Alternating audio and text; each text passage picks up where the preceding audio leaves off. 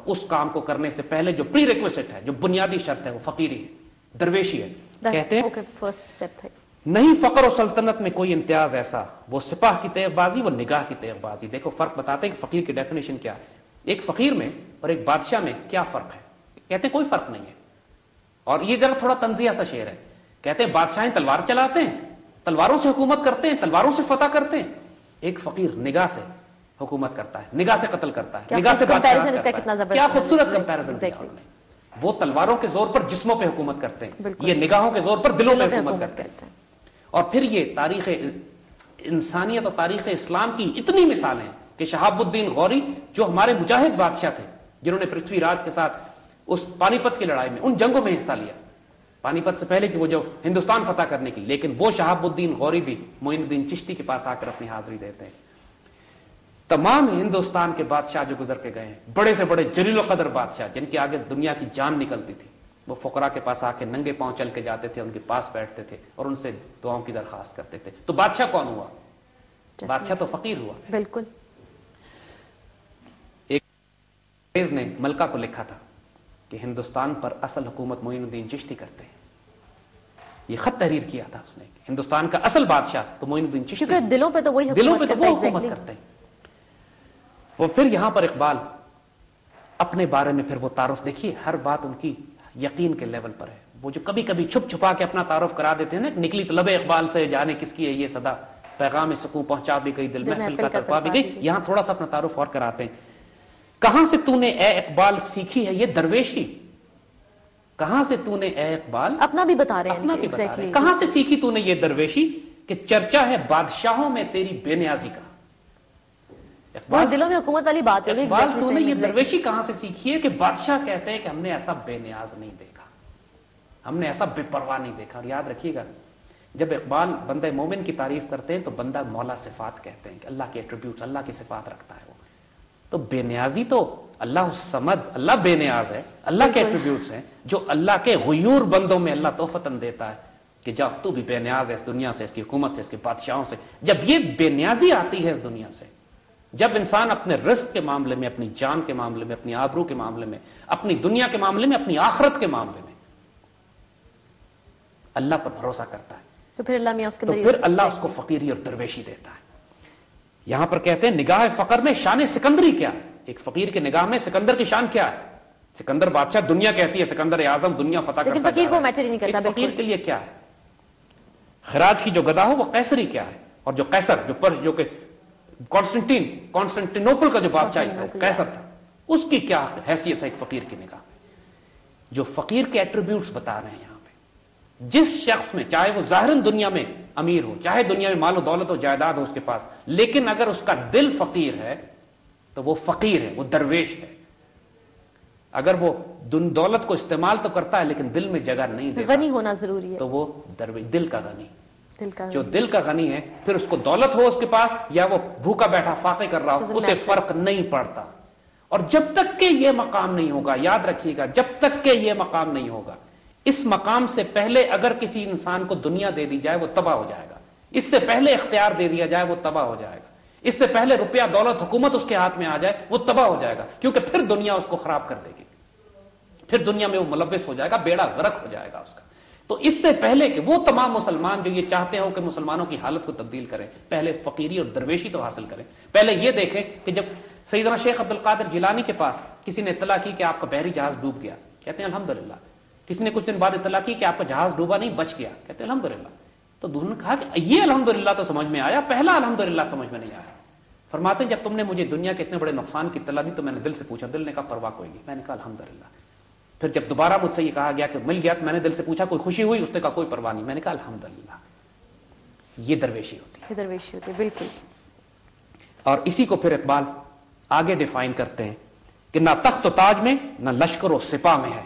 यानी ना तख्त ताज में ना लश्कर सिपा में। बड़े बड़े बादशाहों का ग्लैमर जो है वो सब चाहे वो पावर चाहे पावर अथॉरिटी हो दुनिया जहान के मिलिट्री और इकोनॉमिक और पॉलिटिकल फोर्सेस उनके पास हो उसमें नहीं है। जो बात मर्द कलंदर की बारगाह में है। जो बात एक मर्द कलंदर एक दरवेश की बारगाह में है देखिए हजूर डायरेक्शन ही चेंज कर हुजूर वसल्लम की जो तारीफ़ खुद उस वक्त के कुफार ने की थी। उन्होंने भी ये कहा था कि कुफार ने आके जो बाहर से रोमन और पर्शियन एम्पायर के नुमाइंदे आते थे वो ये बातें करते थे कि हमने बड़े बड़े बादशाहों के दरबार देखे लेकिन जिस तरह सहाबा हुजूर की इज़्ज़त करते हैं और जैसा इश्क और प्यार इनको अपने रसूल के साथ है हमने बड़े बड़े बादशाहों के दरबारों में ऐसा जलाल नहीं देखा। इक्वल लेवल ऐसा जमाल नहीं देखा। बिल्कुल। ऐसा इश्क और मोहब्बत और प्यार और, सेक्रीफाइस नहीं देखा। एग्जैक्टली कि जो हुजूर के दरबार में। और यही बारगाह कलंदर होती है यही एक दरवेश की बारगाह होती है एक फकीर की बारगाह होती है। क्योंकि वो खुददार होता है गैरतमंद होता है उसके एट्रीब्यूट्स आगे आएँगे। हम वही बता रहे हैं कि इकबाल ने वो सारी सफ़र के आगाज़ की बुनियादी शर्त फकर दरवेशी गैरत और खुददारी लगाई है। और इसके नतीजे में एक ताल्लुक हुजूर से कायम होना ऑटोमेटिकली बेनियाजी उस फकर से पैदा होती है उसमें जो अपना फैज मदीने से लेता है। हिम्मत है? करके देख लो। हिम्मत है तो हासिल करो। बुजदलों बेगैरतों और बेशर्मों का नहीं है ये दीन। ये दीन है खुददारों गैरतमंदों और शाहीन शाही औलाद का। बार बार एम्फोसाइज करते हैं वो इसी बात पे। हिम्मत है तो हिम्मत और ताकत से होगा। कर लो हासिल ये मकाम। तुम्हारे सामने रखा हुआ है। और अगर तुम मकाम नहीं हासिल कर सकते फिर अपनी बदनसीबी का रोना मत रोना क्योंकि तुम खुद जिम्मेदार हो अपने जवाल के। ना तकदीर का रोना रो ना अल्लाह से रास्ता तुम्हें दिखा दिया कि अब उस पर चलना तुम्हारा सारा रास्ता बता दिया है। मेहर माओ अंजुम का महासिब है कलंदर। कहते हैं देखो चाँद सितारे सूरज दुनिया आसमान कायनात गैलेक्सीज। उसका हिसाब करने वाला होता है कलंदर। कलंदर उनकी अकाउंटेबिलिटी करता है। अयाम का मुरक्ब नहीं राकिब है कलंदर। जो ज़मीन और आसमान है एक कलंदर पर सवारी नहीं करते। एक कलंदर ज़मीन और आसमान पर सवारी करके अपनी मर्ज़ी से कंट्रोल करता है exactly, बिल्कुल। अगर घोड़ा इंसान पे सवारी करे तो ये अजीब गरीब मामला है। शायद सवार घोड़े पर सवारी करते हैं। तो ये जमाना इंसान को कंट्रोल ना करे कलंदर वो होता है जो खुद जमाने को। बिल्कुल। अपना मकाम पैदा कर नए सुबह शाम पैदा कर जब वो बार बार एम्फोसाइज करते हैं। जो बात हमने इससे पहले कही थी कि तकदीर साज होता है वो। वो खुद अपनी तकदीर बनाता है। वो खुद फैसले करता है कि मेरी ज़िंदगी में या इस उम्मत और इस कौम की ज़िंदगी में आइंदा क्या होना है। खुदा बंदे से पूछता है बता तेरी रजा रजा क्या है? Exactly. उसकी निगाह मर्द मोमिन से तकदीरें तब्दील होती है। इकबाल बार बार ये चैलेंज फेंकते हैं नौजवान की तरफ़। ये पूरी उम्मत को ये रियलाइज़ करना है। इसके अलावा कोई शॉर्टकट नहीं है। कोई छोटा रास्ता नहीं है। तुम अगर वो मकाम हासिल करना चाहते हो तो रूहानी तौर पर ये स्टेप तुम्हें फकर के दरवेशी के कनात के लेने पड़ेंगे। फिर आगे बिल्कुल वाजे कर देते हैं कि फकर के हैं मोजात ताजो शरीर और सिपाह। ये फकीर ही होते हैं कि जिसके मोजात हैं ये कि हजूर सल्लल्लाहु अलैहि वसल्लम बिशारत दे रहे हैं सराका को कि कैसर और कसरा के कंगन तुम्हारे हाथों में आएँगे। रोमन और पर्शियन एम्पायर मुसलमान अपनी ठोकरों में रोनते हुए चले जाते हैं। ये फकर की वजह से हुआ था। फकर है मीरों का मीर फकर है शाहों का शाह फकर है जो बादशाहों का बादशाह ये फकर की वजह से होता है। ये हुकूमत रुपया दौलत पैसे सिपाहियों की वजह से ये मकाम नहीं मिलता। बड़े बड़े दुनिया के बादशाह। आज पाकिस्तान में भी यही हाल है। Exactly. बड़े हम तारीख में देख चुके हैं। बड़े बड़े हुक्मरान। इख्तियार ताकत सब कुछ है इज़्ज़त है। कौम की भी गालियाँ खाते हैं। अल्लाह के यहाँ भी रसवा है। आखिरत भी तबाह बर्बाद। लेकिन उसके बावजूद अल्लाह के बंदे और फकीर जो साहरन छोटी सी कुटिया में झोपड़ी में रहते हैं। बिल्कुल।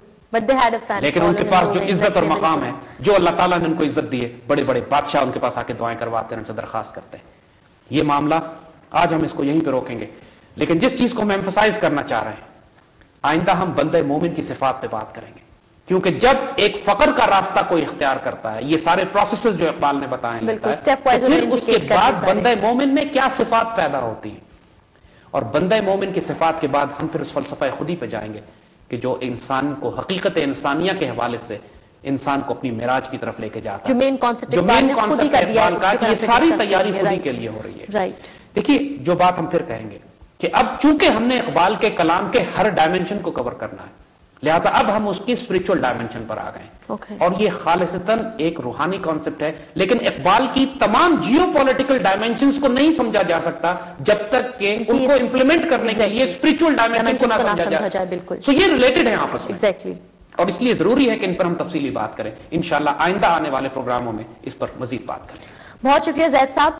व्यूअर्स आपने ब्रास टेक्स की आज की एपिसोड देखी, जो कि हमने इकबाल पुर इसरार में जवाब शिकवा के बाद अपना जो नया सिलसिला आगे बढ़ाया इकबाल की ही शायरी के हवाले से। यकीन आपने उसको सुना होगा, उसमें आपने दिलचस्पी भी ली होगी। जैसा कि जैद साहब ने बताया कि हम इसको कंटिन्यू करेंगे आगे की एपिसोड के अंदर, जिसमें हम बताएँगे कि इकबाल ने जो प्रोसेस डिफाइन किया है, हजूर सल्लल्लाहु अलैहि वसल्लम से रबते का, उसके बाद मोमिन में, उसके बाद क्या सिफात और क्या खूबियाँ पैदा होती हैं।